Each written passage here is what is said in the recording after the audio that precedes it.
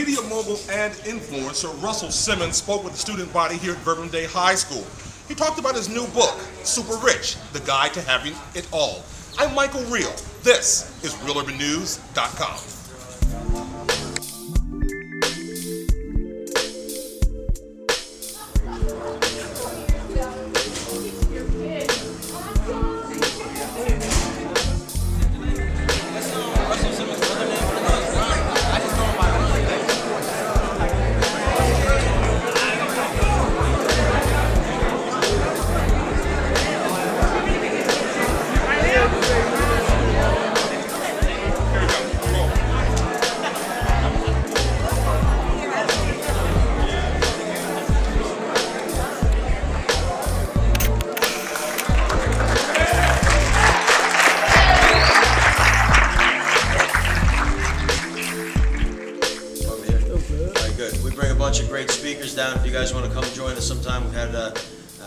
Smith came and spoke with these guys for about an hour, and John Singleton, a bunch of other great people.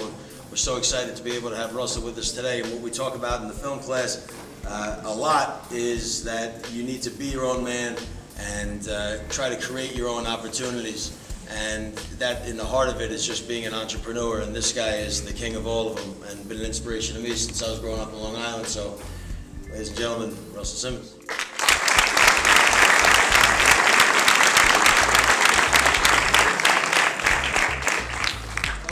Me when older people say grew up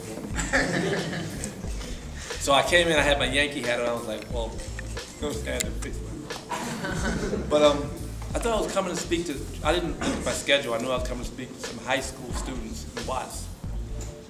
And I like that, right? I always like going like where people need me most. And usually I go to the hood in some some school and most of the people are not getting out of school and none, none of them are going to college. So when I got here, it's like, why am I here? Like, I, I should be somewhere else. But it's always good to make good better. So I'm inspired by you. I mean, when I was your age, I didn't know, I didn't have the direction you had. I didn't have a school like you had. You know, the only difference, I think, between you and the kids in the other schools is that you know better. And that's what I always talk about is consciousness, being aware of what your opportunity is and being aware of what your purpose is. Did y'all know that we wrote a letter to the president yesterday? And all the celebrities wrote, I wrote a letter and all signed it, and gave it to the president. About drugs. How drugs destroy the communities. Y'all don't know that? Should I tell them about that?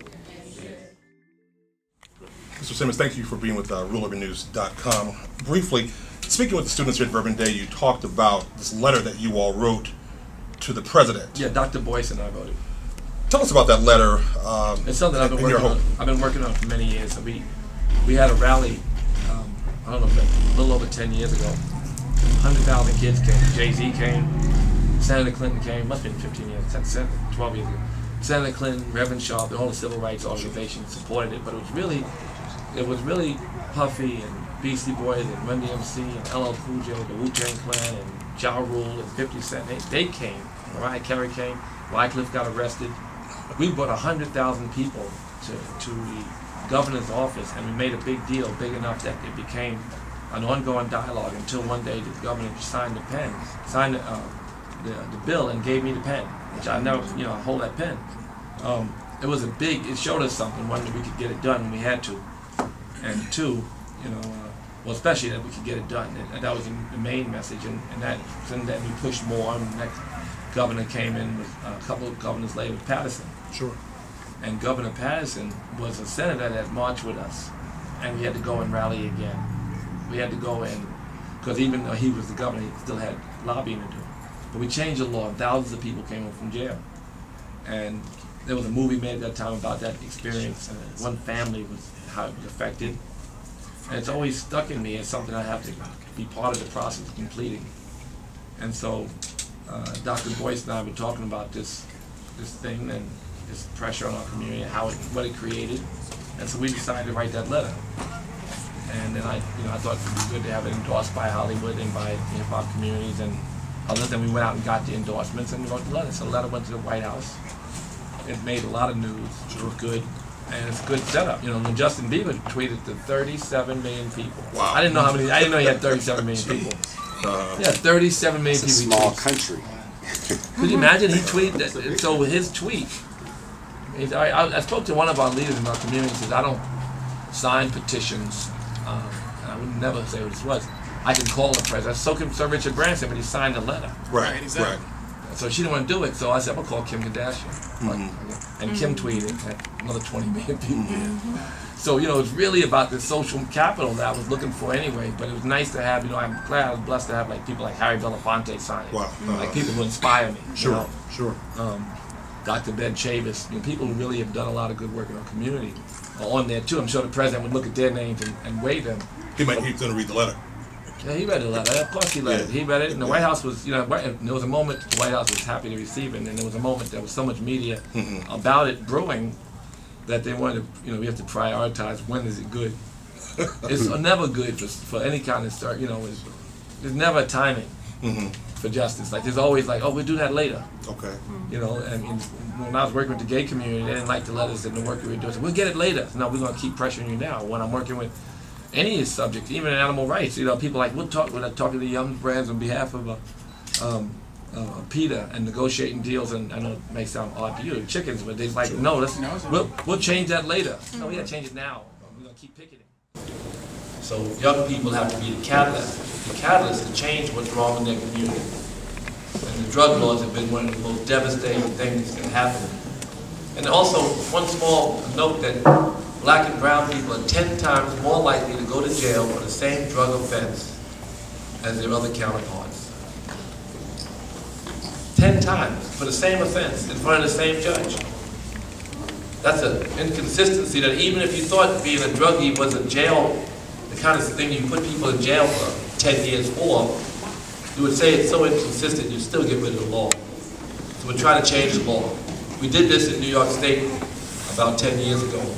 We were very successful, We changed the laws dramatically, and now we're trying to change the federal laws and educate people on this subject. And speaking in terms of now, speaking this afternoon with the students, you talked about uh, the war on drugs. And when you The war on black people. Got to the chase, It's a war on black people. It's, it's, it's like slavery. So the prison industrial complex has damaging has this, destroyed this drug the fabric into of the black community. Lots of places in black nationwide? nationwide. Lock us up, teach us to be violent criminals, and drop us back in the hood with no hope. And they did so much of it that jail culture became the core um, culture in our community.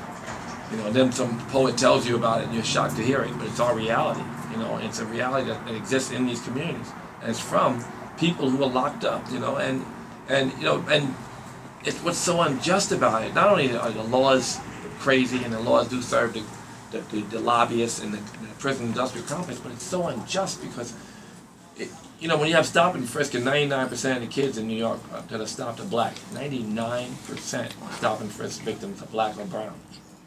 So if you got drugs in your pocket, you know, and you, and you lose it, and you get arrested, and you go to jail, or you have a police record, your life is ruined. Ruined. And it's from stop and frisk, and you know, you didn't have a gun. They were looking for a gun, but they got, you know, a little bit of drugs. I took every drug. Ain't no drug I didn't take. A lot of. You know, I don't drink now, don't smoke now, don't take anything now, but I had that experience. Didn't make me a bad person. Made me less focused, perhaps, you know, but didn't make me bad. How do we change that culture? Well, we have, we have, we know how it doesn't work. We have to just educate the masses so that they can make the politicians make a change. Until then, the politicians, and, and that, which is the core, the big problem that I, you know, I slept in the street occupied. I occupied all over the country. Right. I did it because I felt that um, Wall Street, they said occupy Wall Street. Wall Street controlled our government. It's the money that controls. They can't breathe without the money. So they can all, so it always goes back to the money. Whether it's the prison industrial complex, they spend ten million dollars in lobbying fees and make tens of billions of dollars in in in return for it because they alter the laws, and the laws then, you know, incarcerate our people and fill their beds, their hotel rooms, their prisons. Right, right. Finally, as we go forward into this uh, 21st century, what's the African American focus in terms of family, community, Well, education? That's a lot of questions. Oh. That's a big, package that. You know, um, um, we always hear about post-racial America, and we don't see it except for unless we turn on um, Jerry Springer. Or, we know it's really it's happening in front of us more than we would have believed. And um, I think that you know, there's a, and I talk about it. You know, I'm, I'm really a fan of, of getting kids to see the whole world. Yeah, so he was he's up at uh, Holy Names up in, in Oakland. He flew down for this to come see you. So this is Darius. Yeah, so he's gonna be talking. I'm He- How you feeling? I'm good. How you doing? Okay, now these are our other students. Come in and introduce yourselves to Mr. Russell. How you doing? Tell them what your major is, what your grade is, and where you were. Major, I don't know, I haven't decided it. My, my grade point average is 3.7. I work at Kirkland Atlas, Toronto downtown. It's in the biggest, one of the biggest buildings downtown, the biggest brand spot. My name is Zachary Verge. I'm currently a sophomore. Thank you for the opportunity to speak to you. My. How you doing, Mr. Fraser? You My name is Yes. Down in I'm a sophomore here. Kobe Kelly. Kobe Kelly. Kobe like Bryant. Freshman.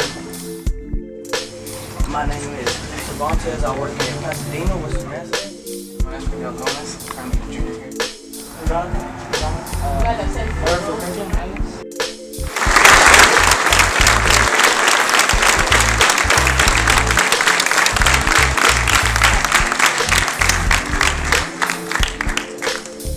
So, uh, Mr. Simmons, before you go, uh, we have parting gifts. Also, Mr. Simmons, uh, we uh, obviously appreciate you coming down and being an inspiration to all of us in here.